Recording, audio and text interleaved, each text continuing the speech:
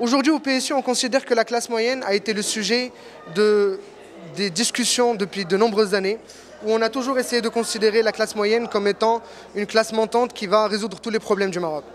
Or, il ne faut pas mettre sur la classe moyenne plus qu'il euh, est nécessaire de mettre. Aujourd'hui, la classe moyenne paye beaucoup plus qu'elle ne le doit en termes d'impôts, en termes d'impôts directs, en termes d'impôts indirects. Aujourd'hui, il y a une pression sur la classe moyenne qui est très importante du fait de euh, l'augmentation du chômage de masse euh, au sein de la population, du fait de la précarité d'un certain nombre de familles et de ménages qui ont de plus en plus de mal à boucler leur fin de mois, et du fait de l'augmentation euh, et, d'impôts injustifiés sur cette classe-là. Nous, aujourd'hui, on considère qu'il est temps que ça soit la classe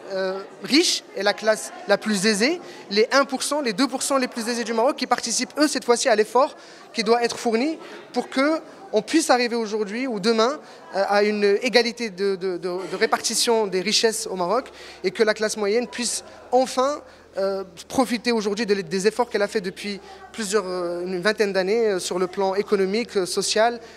et sociétal de manière générale.